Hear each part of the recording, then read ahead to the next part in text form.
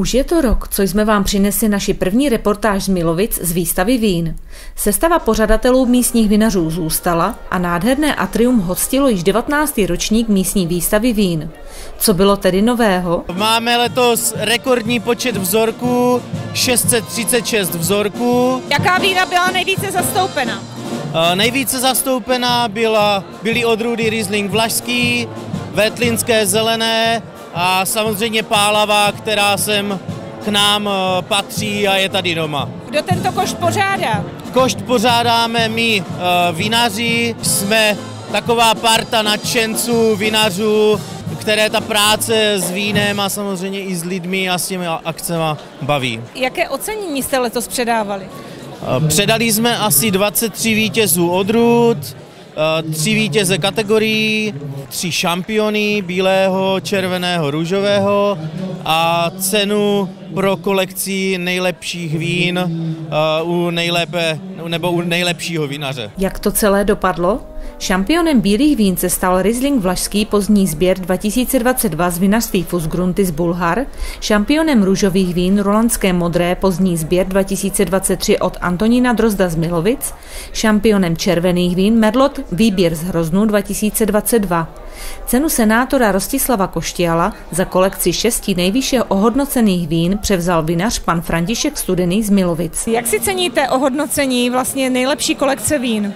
Jo, tak mám z toho radost za celoroční práci vlastně, nebo za práci, co dělám vinařa, tak mám z toho prostě radost. Nejvíc tam byly ohodnoceny Riesling Rýnský a Silvánský zelený. Jsou to typické odrůdy, které jsou vlastně tady z této oblasti? No, moc typické ani ne, jako, jo, ty rýňáky trochu jo, ale ty Silvány asi ne.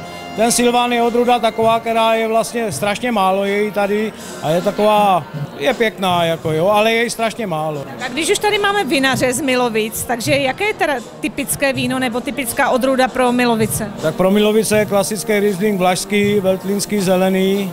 To jsou takový ty typické odrůdy, který bych řekl pomalý moc lidí jako ne, neuznávají a moc nechtějí pít, ale to jsou vína vynikající, řekl bych, na celovečerní pití. Šampiona bílých vín si odnesl vinařství Fusgrunty z Bulhar za Riesling Vlašský pozdní sběr 2022 a my jsme se zeptali Tomáše Valucha, čím je toto víno výjimečné. Je to vlastně směs eh, Rieslinku Vlašského z několika různých tratí. U tohle vína se to povedlo, zachutnalo.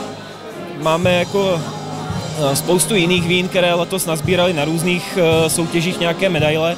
A myslím si, že je to prostě tím, že to člověk dělá poctivě. U předávání ocenění samozřejmě nemohla chybět ani starostka obce Milovice paní Veronika Blanářová a stejně jako v loňském roce nechyběl ani senátor za Břeclavsko a část Brno-Venkov, pan Rostislav Koštěl. Již před rokem jsme otevřeli téma spotřební daně na víno a od té doby se vedou jednání na nejvyšší úrovni ohledně nezavedení této daně. Pan senátor Rostislav Koštěl je odpůrcem zavedení daně.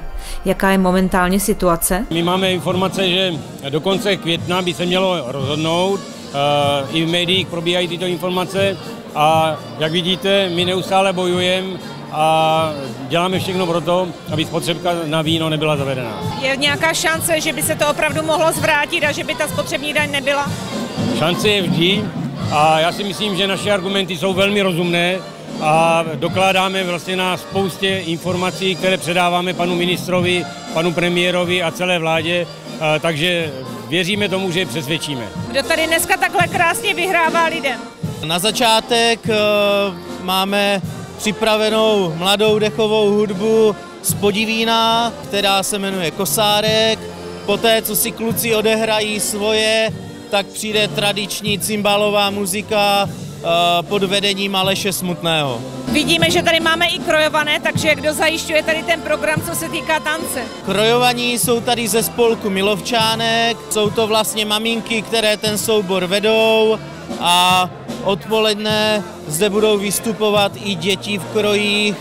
Budeme mít připraveno další vystoupení s nadějným zpěvákem milovickým, s Ondrou Kocourkem, takže ten program bude zajímavý a bohatý. Co byste si pro všechny vinaře tady z Milovic přál? Je to, je to zajímavá otázka. Samozřejmě bych si přál, ať už nás letos nepostihne další přírodní v uvozovkách katastrofa, nějaké problémy. Částečně nám vinice taky zmrzly. u nás v Milovicích, takže bylo by fajn, kdyby ten ročník došel do vinobraní bez nějakých tlaků, chorob, bez velkého množství špačků a samozřejmě bych jim popřál eh, skvělá vína i v letošním roce.